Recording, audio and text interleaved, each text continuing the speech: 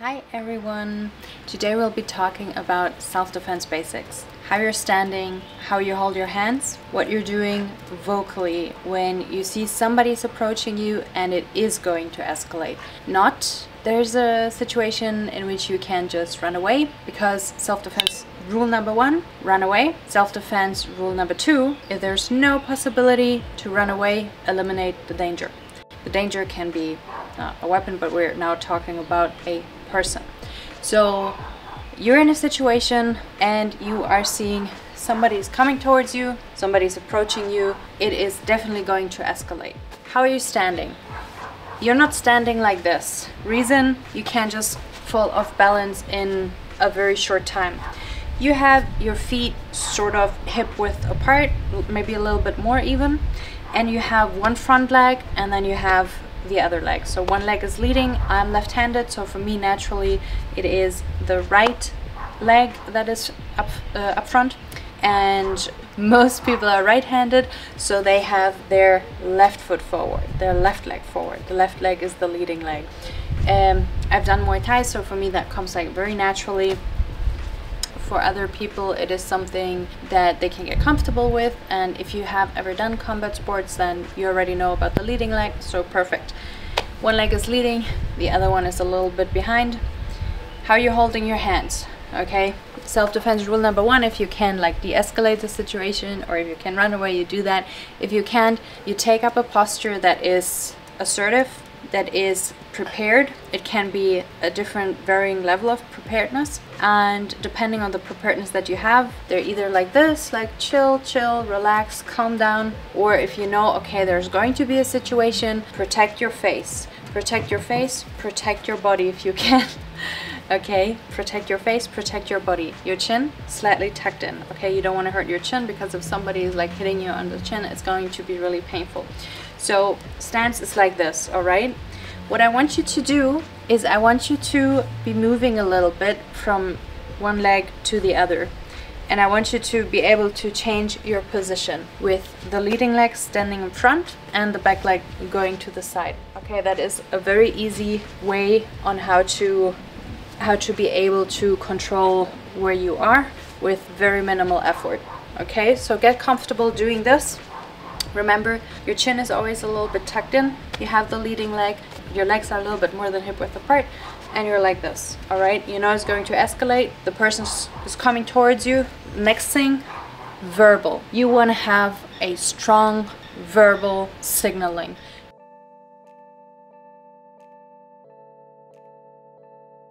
you cannot run away in the situation that I'm demonstrating right now. So you have to become a lioness. And I really want you to think about becoming a lioness. You cannot be like, leave me alone, leave me alone in a situation like this, okay? The situation is going to escalate like no questions asked in the situation that I'm dem demonstrating right here right now. You going to be like go the fuck away! Okay? You gotta be loud, have a deep voice because the deep voice is going to be more effective it's going to be more scared. You can even sound as if you're possessed okay?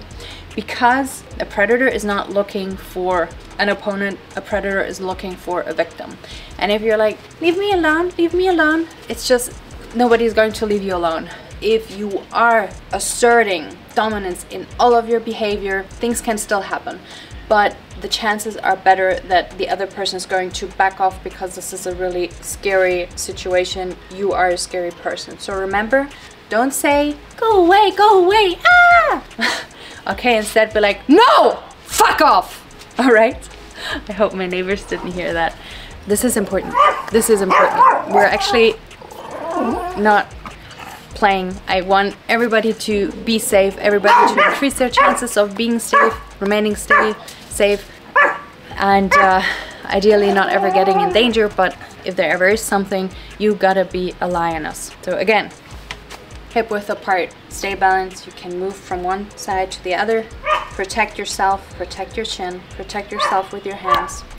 Then the other thing when you have to punch I mean, this is not a punch, but when you have to um, snap at the other person, fast movements, okay? And the fast movements, don't, don't just move your hands. It's not going to be effective.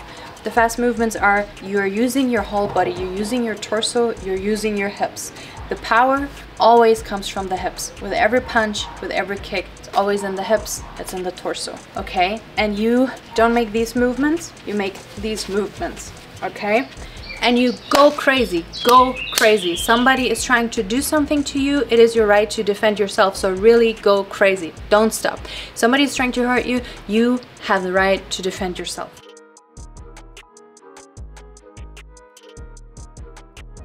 I just gonna briefly talk about knees and kicks in this situation. So remember, we're not talking about combat sports here because in combat sports you would use those kicks. In combat sports you would, you know, knee on the upper thigh, knee in the belly, knee everywhere. Self-defense, you knee and you kick in the nuts. So while you think about a combat sports kick, a very nice kick is, for example, the push kick, but you're not using a push kick. Instead, you're using something that is not really used, as far as I know, in combat sports, which is you just kick up with a straight leg and with your shin, you're going to kick in the nuts, okay? Kick in the nuts. That's what you want to do. Kick in the nuts. It takes minimum effort from your side and it's going to be really painful. It's going to be really effective.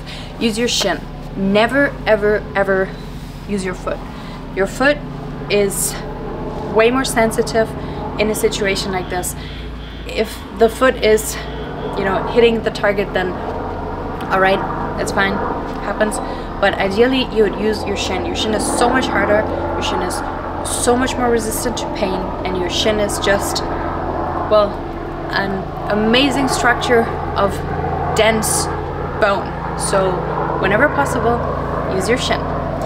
The other thing are knees. Knees, the same, in the nuts, in the nuts. And you see, you're using your hip, using your torso, but don't do it like exaggerated like this because you may come off balance. Instead, just use slightly your hips, slightly back. And also while you do this, try it's not always possible, but try to defend yourself.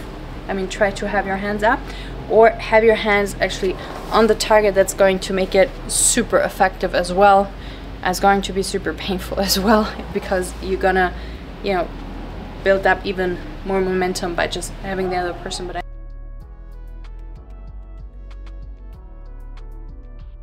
a little bit more than hip width apart or hip width apart for your balance so you have your balance make those little movements Another movement is going back, okay? Protect yourself, protect your shin, be loud, use a dark voice if it's possible. And my Krav Maga instructor who is uh, Spanish, he always says that I should be like the sweetest person, I can be the sweetest person as I'm in a situation where I know it's going to escalate. I have to fight como una loca, like a crazy one, okay? Uh, noises, make them, be loud be like a crazy one. If you really have to snap, snap like this. Okay, if you want to make it an impactful one. You use your legs, use them up in the nuts, in the nuts, in the nuts, in the nuts. When you're using your knees, in the nuts. Okay, you don't have to go super high. The belly is going to be super painful as well, but the nuts are just the best target, okay? Other targets that you want to reach if you can, trachea, you can also punch it like this or you can um, use your uh, this part here of your hand very snappy and fast use the eyes going to be super painful as well okay with your thumbs in the eyes very very violently and that's it from the super extreme basics I really hope that you find them useful. I hope that you're gonna train them. I hope that you're gonna train them with an instructor because an instructor is going to teach you so much also when it comes to mindset. And through that repetition, through that doing it over and over and over again, you'll also feel more confident in situations in which you think this could be dangerous. So keep safe, stay safe, stay protected, protect yourself. And if anything ever happened to you, know that it was not your fault. Not at all. Don't ever think that things can happen to everybody. Not your fault. Get some help.